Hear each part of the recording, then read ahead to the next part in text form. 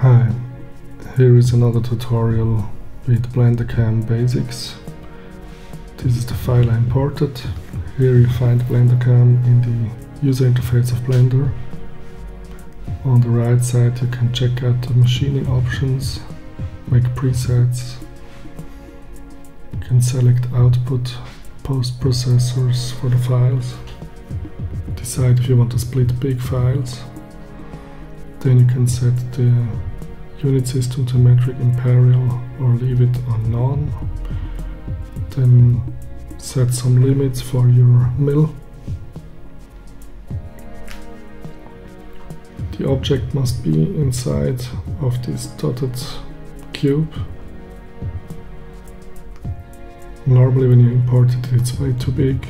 You have to scale it down so that it fits the measurements of the CAM machine option. Can auto align the object inside this cage. First select your object, make a new CAM operation. I close all the folders here.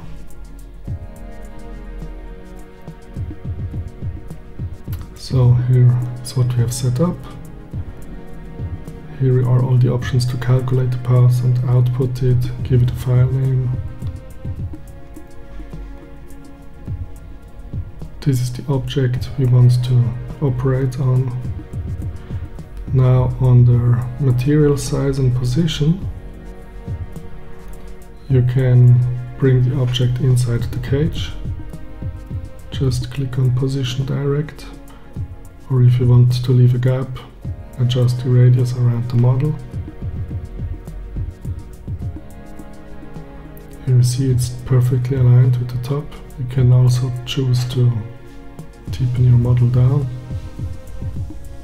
So now you have to choose an operation. There are different operations. I usually work with parallel. Uh, you have to define a cutter diameter and make some decisions on how you want to mill your objects.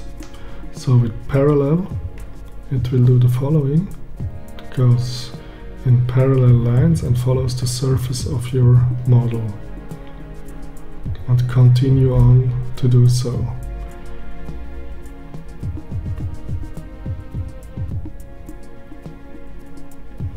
The distance between the toolpaths is depending on the cutter diameter. So to work fast you can use bigger cutter diameters. To have more detail you have to go smaller. You can choose a ball end or an end mill, tool number settings, number of flutes. The distance between toolpaths I set it now for my 12 millimeter. If you go really near with 0.1 millimeters it will make a narrow pass which doesn't really make sense for this project if you go really in the diameter already this is good for styrofoam where you can really cut fast through material. You need much less passes to finish the milling process. Here you see the side by side of the milling bit that just overlaps. And with the smaller distance between the tool passes it just overlaps a lot this helps to get stress away from your mill bit if you have really accurate and filigrane stuff to do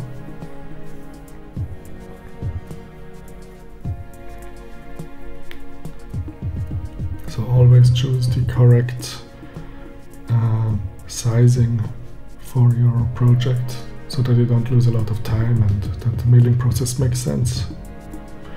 Then you have other algorithms, for example the block algorithm, you can start it in like a blocky manner and it goes just down in this spiral. Motion cross crisscrosses over the whole object.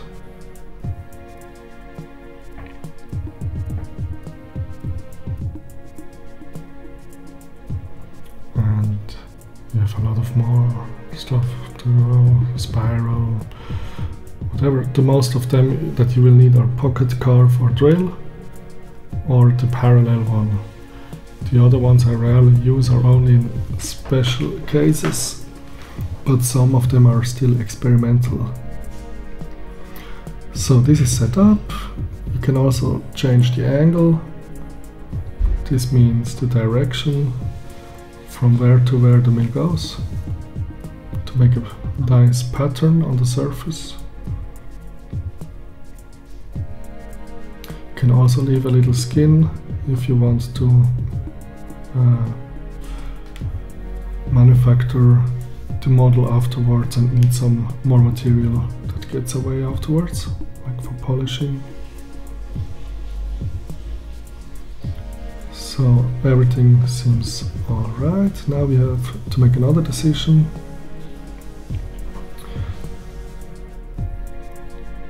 So my system is a bit slow, it's an iMac, so I have to reduce the accuracy of the calculation. I do this by setting the resolution of the uh, megapixel 2 megapixels and reduce the resolution for the raster normally I will, I will choose something in between to get a fast result but it's still accurate so the next thing we can also step down in layers so that we don't take a lot of material at once.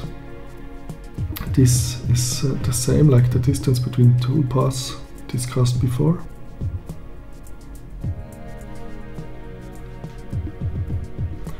So it will go down in steps of one centimeters now until it reaches the bottom of the surface or the top of the surface I want to mill. Um, I also can go all at once. So here again in detail to see what happens. You have your mill bit here. And then it starts on top of your stock material. And you can either go directly to the surface and all the passes will be calculated from for the top of the surfaces. Or you can also make in between stuff so like these layers that step down a specific amount to take less material at a time. Depending on your material you have to do that. For all metals for sure. Styrofoam is pretty forgiving. So you can also use limit curves to limit uh, to have just the calculation for a specific part of your model.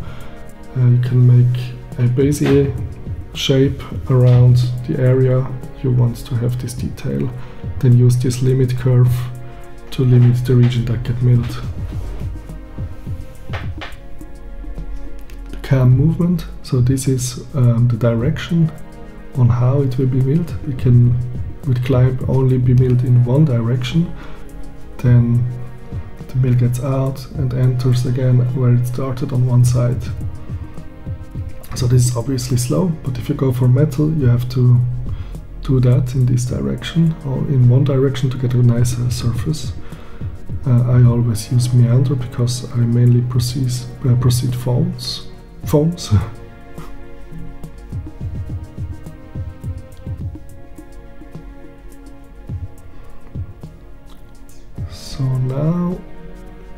pretty much done recheck the feed rate for your spindle. So choose what your machine can handle and your material of course. Then you click on calculate pass and after a short time of waiting you will get the pass for your export. Since I clicked on auto export, it will automatically export the file named operation underscore one into the directory of where, from where I have opened this model to import. if you don't find it, use a search engine on your computer. Sometimes it saves it on weird places, like in the Blender folder, depending on the system get different results on Windows and Mac. So you export the G-code to make sure it's uh, gone. Open it in a text editor. Now you can check the feed rates to make sure that your machine and material can handle it and that you don't have made any mistakes. So this was pretty much it. Um, you can export this G-code with ChiliPeppr and we make another tutorial later on on this topic. My name is Daniel Bachmann, I wish you a pleasant day and Blender rocks.